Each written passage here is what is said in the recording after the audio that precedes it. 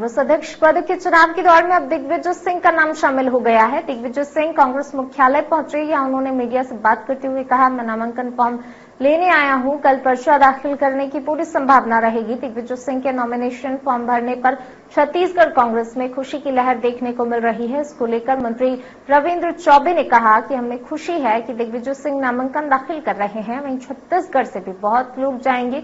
उनके नामांकन में हिस्सा लेने उन्होंने कहा, छत्तीसगढ़ की कांग्रेस की राजनीति में आज जितने लोग भी आपको दिखाई दे रहे हैं, सभी नेता उनके नेतृत्व में मध्य प्रदेश की सरकार और कांग्रेस के संगठन में रह चुके हैं। दिग्विजय सिंह,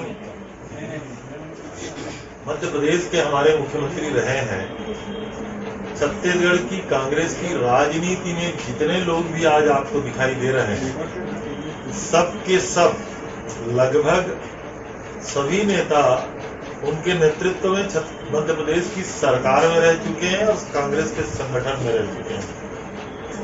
अब हाईकमांड को तय करना है कि गहलोत साहब होंगे, शशि थरूर होंगे या दिग्विजय सिंह होंगे। ये लोकतांत्रिक मामला है, लेकिन हमें खुशी है कि दिग्विजय सिंह जी नामांकन दाखिल कर रहे हैं।